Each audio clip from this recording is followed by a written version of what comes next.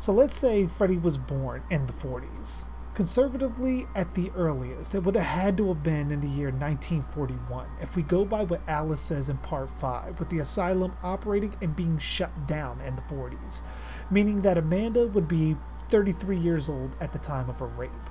Now, if we dive deeper, we find out in Freddy's Dead that Freddy's daughter Catherine was taken away in 1966, as said by the Springwood history teacher. Granted, he was insane, but the dreams of Maggie or Catherine, whatever you want to call her, seem to corroborate that story.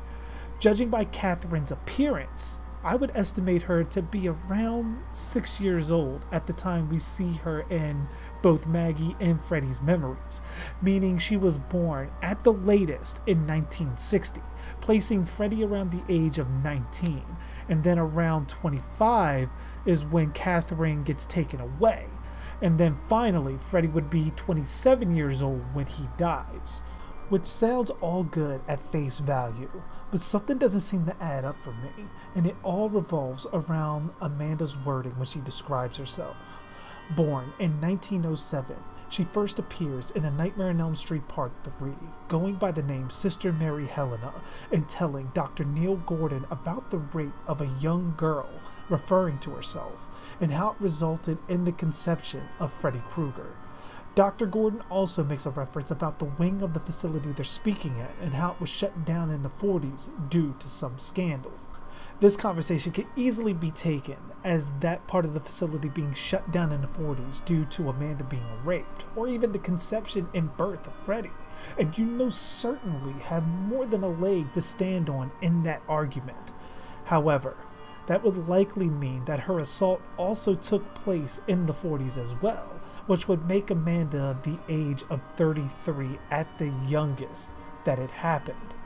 This contradicts the wording that she used about herself being a young girl, since while 33 is younger than she's depicted in Part 3, it implies the incident actually happened much earlier in her life, especially since she had yet to gain her sisterhood, since she was still going by her original name at the time of the incident. Given the meaning of the term young girl at that time in the literal sense, it likely places her around the age of 18 years old, meaning her rape would likely have taken place in 1925, with Freddy being born in 1926. So the question is, how old was Freddy when he died then? My theory, based on my research, and if we take Amanda Krueger at her word, Freddy would have been 42 years old at the time of his death, and there would have been at least a 13 year time gap between his death and the first appearance in the dreams of his victims, which would change the previous ages mentioned at the beginning of this video to him being 34 when Catherine was born, and then 40 at the time she was taken away, and finally 42 when he was burned alive by the parents of Springwood, which to me matches far better with what we see in appearance with Robert Englund's age during Freddy's Dead and even later in Freddy vs. Jason. But that's my theory. Do you agree? Or do you think that Freddy was actually born in the 40s, like Alice states? Comment below with your own theory, and be sure to like, share, and subscribe, as well as hitting the notification bell to be alerted whenever a new video is uploaded. And as always, I am JG Darhk. And thanks for watching.